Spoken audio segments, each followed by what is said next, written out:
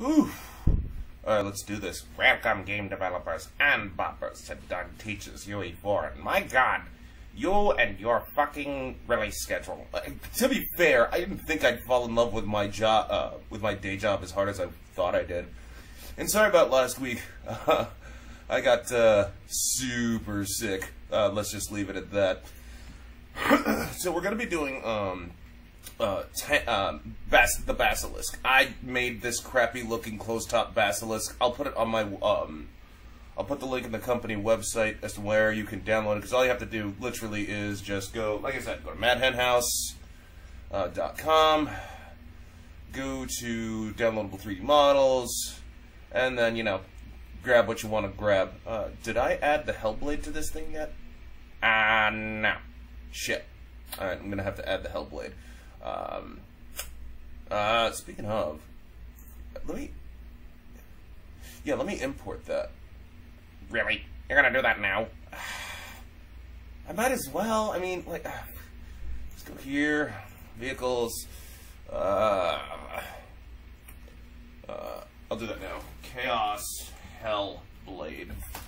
Chaos Hellblade fire. Uh, flyer. Let's go to import. A desktop. Uh, I have that zip file. Nope. Nope. Ugh. Ah, fuck it. Uh, where are you? Shit, shit, shit, shit, shit.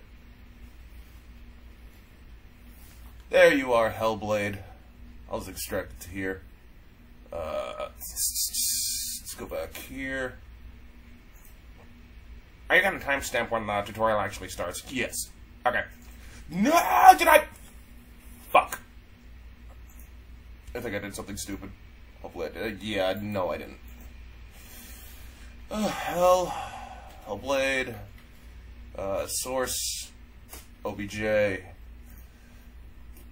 not gonna import the textures? You are just you are you are hell bent on pissing me off. But excuse me, you're the one that has you're the one that's literally taking the time out to you know.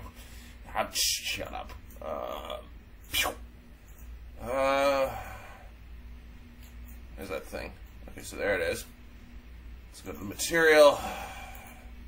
And Hellblade 2 or Hell, I'll use Hellblade 2. Fuck it. Get rid of that plug that in. Close, fine. Let's see how this looks. I gotta turn the camera speed down. Ah, uh, what? Oh, what the fuck? Why does it... That how it's supposed to look? Ah. Uh, I don't know to 1.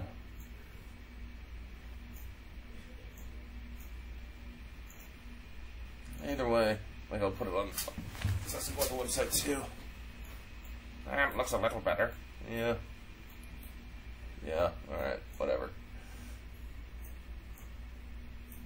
Alright. Alright, anyway. Um, yeah, this is going to be uploaded as well. Anyway, so, let's get started with making this uh, basilisk. Uh, so I'm going to right click, blueprint class. It's going to be of type character. Uh, I'll just call this basilisk. That's, that's not how you spell basilisk. I know. Uh, then I'm just going to go here.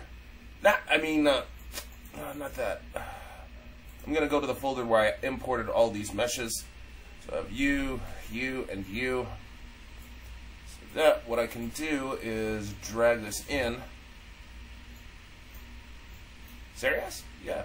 Oh, shit. Sweet. Yeah. Um, but you and you, both of these have to be children of the, of, of this. Oh, okay. Yeah. So then, I'm just going to scale these down. Nope. Uh, yeah, I'm, I'm okay with that. Wait a minute. Something's up with the... That's not the same barrel. Right here. that and use that. There we go. Yeah, there we go. So let's get the turret rotation out of the way because that's going to be the easiest. Uh, and I, I'll put an arrow component. All right, because they're teaching um, how to how to artillery fire. Yeah, right, right. Hmm. Uh, let's put that there. Move this. Move this. No! Yeah, that'll do. That's a good. That's a good thing. Alright. Hmm. Uh, it's not centered. So, I don't, want it centered. Let's move it a little. Alright, yeah, that's good. Okay. Uh, so let's compile. Why'd you compile? I don't know. Anyway. So, how to rotate the turret. What we're going to have to do is we're going to go, we're going to right click, look up. Okay? Uh-huh. What we need to do is basically we take the barrel, right? We get its world rotation. Get world rotation. I want to split this struct pin. We basically have to check to see if the Y, because this can rotate vertically upward, the Y, which is this, we have to make sure, we have to look, we have to have some parameters. I'm going to move this in a little. Yeah, there we go, just like that. We want to make sure that the, uh, we want, we have to have some limitations. Meaning what? So, we need to take the pitch. Say, if it's less than a float. If it's less than zero, right? We branch this out. Okay. If it's false, we don't want it to rotate because it's rotating negative in the negative direction. Can't do that. All right. So what we want to do is we want to set its world rotation uh, on true. So on true, we basically set world rotation. We split this struct pin. Uh, uh, to be fair, you can. This is just to be on the safe side. You don't necessarily have to do this. Do what? Plug this into you and that into that. Oh, really? No, we don't necessarily need to do that. You can leave this as is. Uh, uh, I'm just doing this just because, just to be on the safe side. Um, but the pitch, you want to set it to zero. Because if it's less than zero, we, we don't, that means we're rotating down. Right, right. We want it to be, yeah. On false, however, we have to check and see if it's greater than uh, uh, another float. We want to set it, we want to we want to say, hey, is this greater than 45? Plug this into another branch. Why do we check it to see if it's greater than 45? Oh, um, because uh, the basilisk, well, turrets themselves, tank turrets can't rotate for uh, can't rotate past 45 degrees. That's a that's like a thing. Supposedly there are artillery pieces that can rotate 90 degrees now. I don't know if that's an actual truth or not, but whatever. You, you see where I'm getting at. Okay, so that means we want to take this and duplicate this. If this is true, right? Do we set the we set the the pitch to 45? Yep. 45. Take the X to the X. Again, you don't have to do this part. Like, I'm just doing it just to be on the safe side. Z to the Z. On false, uh, we want to take the axis value, right? We're going to set the world rotation. World rotation. Split this struct pin. And then we're going to take the axis value and then just plug that into the Y. And then take this, plug this into X, plug this into the Z, again, just to be on the safe side. And we're done. What? Oh, yeah. And we're done. So now, Control B here. Plug this in. Uh, I'm gonna go into the blueprint, open up blueprint, get rid of that, because I don't need that, I don't need that open anymore. And, nope. Wait, wait. Wait, wait. Ah, wait, no. Ah, Look at that. Yeah, that's this one. Why did you have to? I had to experiment just to be on the safe side. Oh, okay. Oh, right, I need to add a camera, don't I? Fuck. Yes, you do. Shit. Alright, let me just add a camera to this thing. Camera. Do do do do do do. So, pile. Yeah, it's fine. And then in here, basilisk. Plug this into pawn. And we can get rid of this, because I don't need it anymore. What? There's another. Wait, what?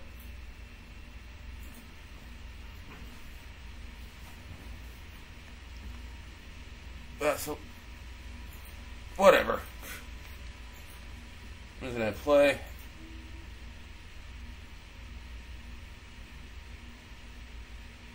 I gotta move this thing. I gotta move this camera out.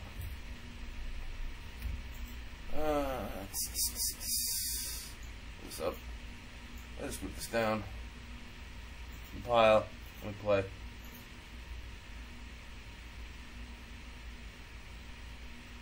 Why is the yeah, I'm moving invert, aren't I? Oh, right, because I have to multiply this by negative one. Ah. Oh, yeah, yeah, yeah, yeah. Uh, So the reason why this is looking, this is acting weird, is actually you want to multiply the axis value by a negative one because if you're moving the mouse down, the barrel goes up. All right, yeah. So we got to multiply this by negative one, and then we plug this into the Z pitch.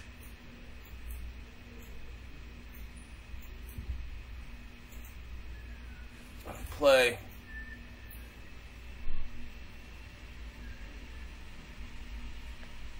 Hey, look at that. We're rotating our thing. Now, if you want, like, if you want to slow this thing down, like the turn speed, just uh, divide this by a float. And you could say divide by, I don't know, like 0.5, and you'll be turning at half the speed.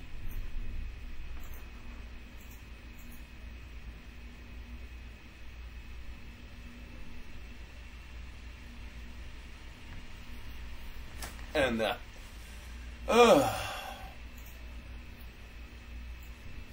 So let me get rid of this. Ah, are we doing the artillery? Are we doing the artillery? Oh, fuck yeah, I forgot about that, didn't I? Uh, I think I'm gonna scale this down some more. Why? Uh, ew, come on. Uh, right out there. Nah, right around there should do it. Wait a minute.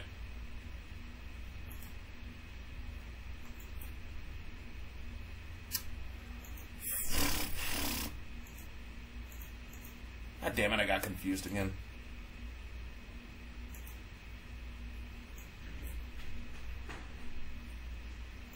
I got confused again, didn't I? Okay. I'm gonna hit Control B. Yeah. Okay. Look at that. I thought I was like editing the wrong one. I, well, I was editing the wrong one. Uh, scale this down. Scale this down about there. Yeah, yeah, yeah. Build the navigation as well as much as you want.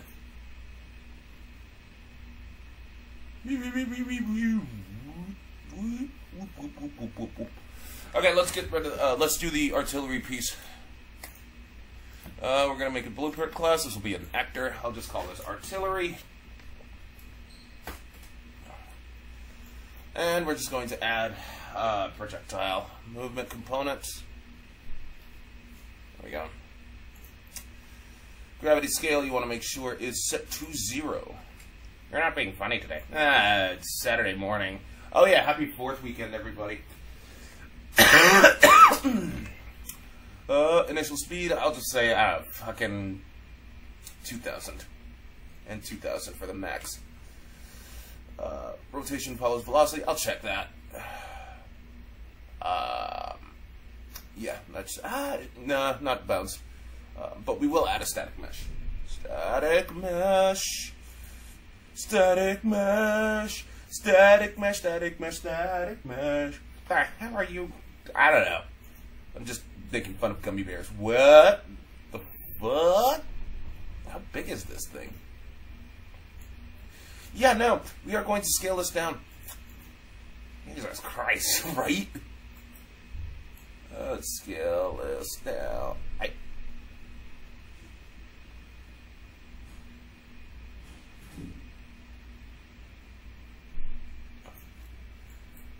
Alright, that's good. And then from there, we're going to add uh, sphere collision. Why the sphere collision? Ah, we'll need to generate some overlap events. But, um, because this will generate overlap events. This will still be solid, because we'll need to have an event hit. Uh, are we going to see like physics? Mm, no. Undo the scaling. Let's tone down the radius to about there. Now this will be overlap all dynamic over the static mesh. You gotta go scroll down here. We want to make sure that generate hit events is ticked to true. Because whatever it hits, we want this to explode. So then why have the sphere collision? Because in the event hit, you can't scan for actors. Ah. So are we gonna do anything about that? Um, eh, we'll just say on event hit. Events hit. Just destroy. Destroy the actor. Okay. So how do we do artillery ship? Alright, so automatic begin play. You want to add a timeline. And you could and play this from start. Uh double click here. I want to add a float track. I'm gonna set the length to one second. Wait, what? I didn't now, let's get rid of that. Get, get, get rid of that set set the length to one second, you asshole. Uh, yeah, I'm gonna I'm gonna do this again. Can you believe that? Add timeline. We play from start. We add a float track. Set set this to one second. I'm gonna hold down shift, click on two keys. This will go to 1, and the value for this will be 1. And this will be 0, and the value will be 0. Uh, I'll just... Ah, should I make this a curve? Nah, I'm not going to auto-code this. Curve as fuck. Let me go back in here. Get the projectile movement. We get gravity... Grabs... Uh, gravity Z. No. Uh gravity scale. Get projectile gravity scale. So then what we want to do is we just want to add float to float. Plug this in here. And then we just set projectile gravity scale. Set it on update. We, pl we plug that into update and on finished. We just set it to 1. Put this in target. Put this in finished. I'm going to move this. I'm going to rotate this. And I'm going to move this here. Compile. Now on event hit, or rather, like if it hits anything, it'll just destroy. Uh, so we're done here. Now, on fire, we take the arrow component, get World Transform. Wow, I can't spell. Spawn actor from class. What the hell did I? Artillery. Plug this in to pressed. Play.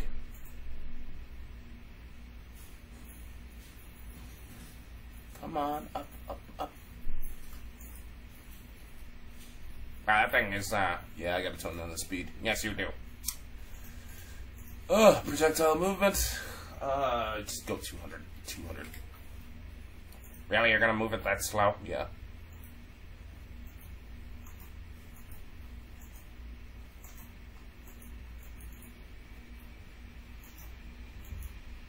Well, it's well, it's firing. Yeah, it's firing.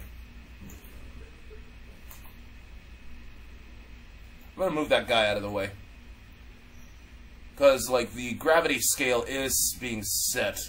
It's just um, you're not seeing it that you're not seeing it that well. I might as well scale this up too while I'm at it. Let's scale it up to that. Uh, right around there.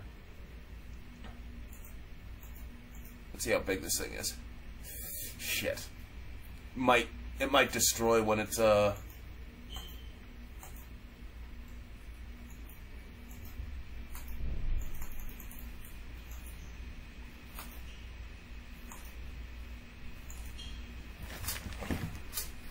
And there you go.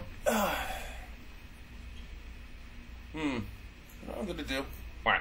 I tried to possess this dude. Why? I have something to test. Give me a second. Uh, get that. Get that. Get that. Huh. My controls that are a lot smoother. Why is that? Find out. Oh, right. I am a moron. Why? Because I'm setting its rotation, not adding local rotation. I'm an idiot. God, I'm stupid. Oh, right. Okay. Yeah. Get rid of that. Add local rotation, Doug. God damn it. Split struct pin. Put the, plug this into U. X can go into X. Z can go into Z. That goes into false. And now that the the basilisk is fixed. Uh, up, up, up. In pawn. Get rid of that. There we go.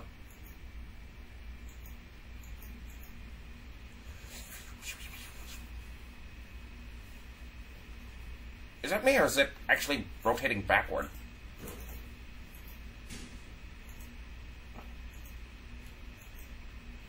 No, it's not. It's just uh, it's just literally janky. Oh, anyway, you can fix that, jank. Um, you uh, uh, there is a way you can actually disable the mouse from going up. Uh, are you gonna shut that off? Not really. Okay. Um. Ooh. Is there anything else that I was supposed to show off? Can you show off how to do the heavy bolter? Uh, oh, the pintle mounted heavy bolter? Like the thing that goes here? And you just fire it? Yeah. Um. I'd rather do the Space Marine bit. Shit. Yeah, I'm gonna have to do that with Space Marines. Because Space Marines will have three different fire modes. Or rather, the Loyalists will. Because they have combi bolters. Wait, what? Yeah, Tactical Marines will have combi bolters where you can toggle the fire mode as well as what, uh, like if you want to have like a combi plasma, combi flame, or whatever. Whereas the CSMs, they can choose their mark, etc. Uh, I think that's it. That's all I could really show today. So what'll happen next? Is there a tutorial next week? Uh, yeah, there will be a tutorial next week unless something happens. Because my schedule has just been become ridiculous now that I have technically speaking, I have three jobs on top of what I'm doing with Mad Hen House. So, uh, there's that. So my schedule's all types of fucked up. And since Captain K convinced me to do the Let's Plays again, that's gonna be another thing of added work. Oh, shit. Um, but next week, I think... I think I said next, uh, because based on the vehicle schedule, next week, uh, I gotta do the Storm Talon gunship Oh yeah, yeah, that's a thing. Yeah. So the Storm Talon gunship has to be a thing. Essentially, essentially, it's a flyer that can hover. So we're gonna have to toggle between how to actually do that. You should have that. You should at least have the rapid fire bit. Uh, I'll think about it. In all honesty, um, I might do that. Uh, it. I'll think about it. All right. Well, uh, ending it here. Yeah, do it, narrator. And there you have it, game developers and boppers. Tune in next time for Doug Teaches UE4. Happy 4th, everybody.